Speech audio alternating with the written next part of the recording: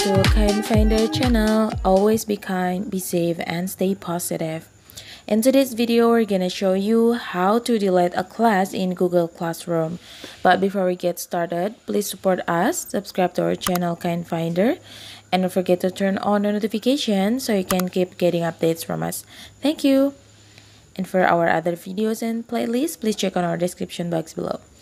Alright, so now let's get started. I'm using Chrome to open my Google Classroom. You can also download or install the application Google app, Google Classroom app on Play Store. So I open my Google Classroom using Chrome. You can also do that. And as you see here, I have four class four classes. And I will try to delete my class by tapping on these three dots but there is no option to delete the class only to move copy the invitation link edit copy and archive. So how to delete a class? So what you have to do is you, you can you need to archive the class first the class that you want to delete. You need to archive that first.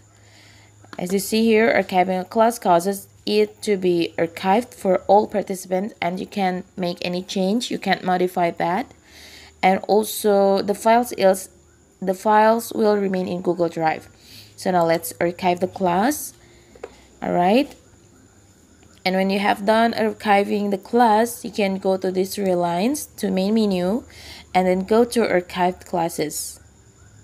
Alright as you see this is the class that I have uh, that I just archived.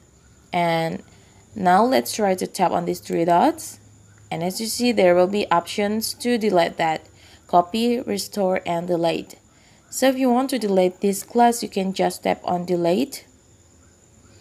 And there will be this warning. You will no longer have access to any posts of or comments that have been added to this class. Class files will remain in google drive. You can undo this action. So the files is still uh, remain in Google Drive, but all your um, comments and posts on this class will be deleted. So if you're ready to delete, just tap on delete. Alright, as you see now, no archive classes and also you have just deleted the class. So it was how to delete a class in Google Classroom.